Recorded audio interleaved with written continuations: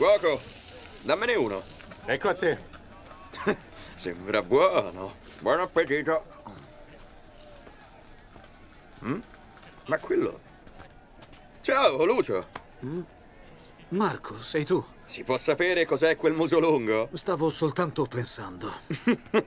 Hai litigato di nuovo con tua moglie, vero? In realtà il fatto è che ho appena perso il mio lavoro. Oh, deve essere dura.